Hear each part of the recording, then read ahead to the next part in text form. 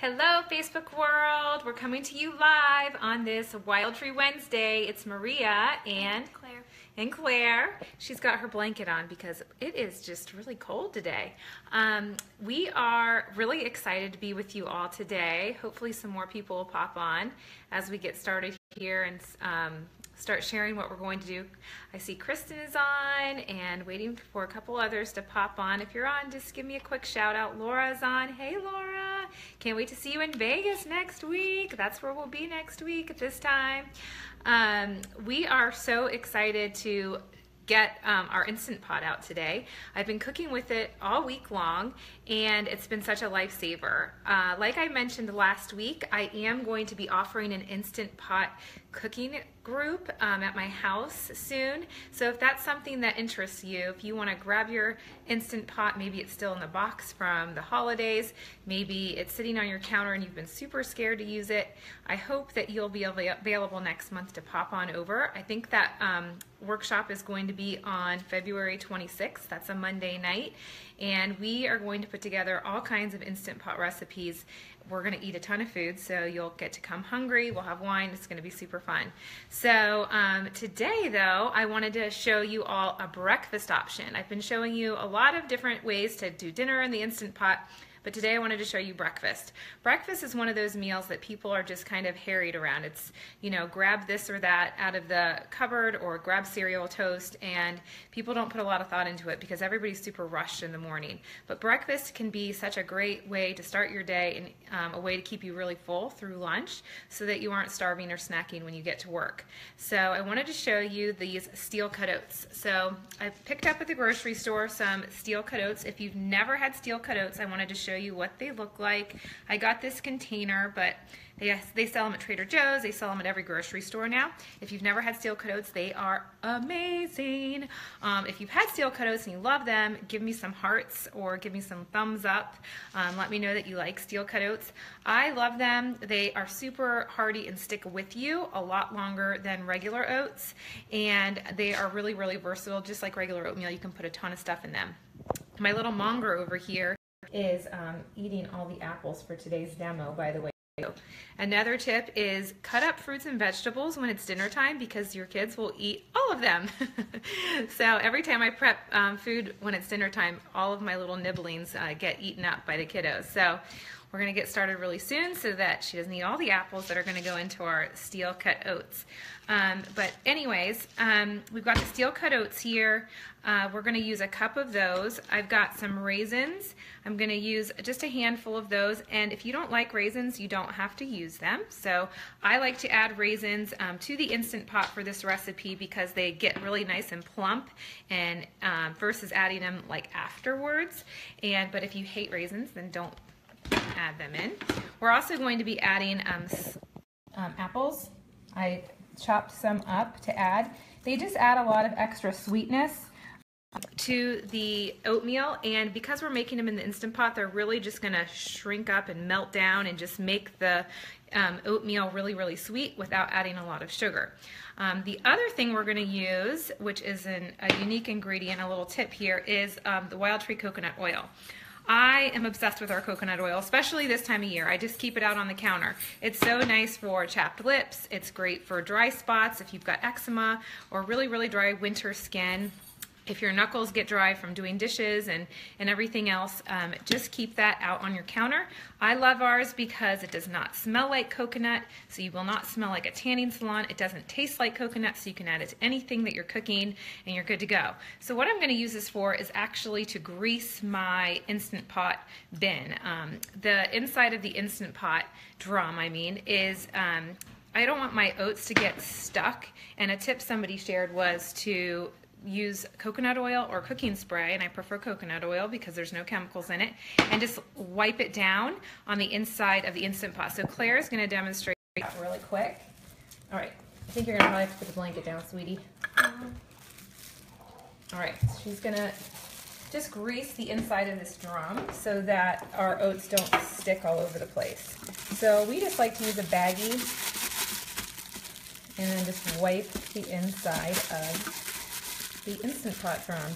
Get all nice and coated. You probably don't have to do all the way to the top, probably just like halfway around. Yay! I love seeing so many of you on here. Hey, Nikki. Hey, Betsy. Hey, Abby. Hey, Erin. Hey, Jen. See you next week, girl. All right, so that's all nice and greased. All right, let me turn this around. Um, we are now going to add um, our ingredients. Now, my other secret weapon to this recipe is the Wildtree Hearty Oatmeal Mix-In, sugar and spice. This is such a, I mean, you can see, like, I'm almost out of this. I've got like 10 other jars in my pantry, though, because we use it for everything in our house. Um, this is great for oatmeal. It's going to be so yummy in this recipe. It has a lot less sugar in it than regular um, sugary add-ins that you would add to oatmeal and it also is really versatile. So we actually put this on our sweet potatoes when we're doing roasted sweet potatoes and the kids will gobble them up. We'll put the, them on baked sweet potatoes. We put it um, in our ener energy bites. We literally have a batch of energy bites in our refrigerator almost every single week because we're obsessed over them. The kids love this flavor. I personally love our coconut flavor. So this is our hearty oatmeal mix-in coconut flavor. This is my personal favorite. So I'm not gonna add this to the drum today. I'm gonna add this one and then in the morning, when I am I'm getting my portion out, I can just sprinkle a little of this in and get my coconut flavor that I really, really love. So um, that's how I'm going to work that. So I've got both of these out. If you've never tried this, I just can't highly recommend it enough. I'm happy to pass along the Energy Bite recipe, sweet potato recipe, um, the oatmeal recipe, I've got so many friends that just let their kids add it to their oatmeal, instant oatmeal in the morning. They buy the plain oatmeal without sugar in it and then just add this. So it's great to have on hand. So we're going to add to the drum. Claire, can you add um, the water, please? So we're going to add three cups of water. Oops, that's baggy attached to you. And we're going to add one cup of steel cut oatmeal.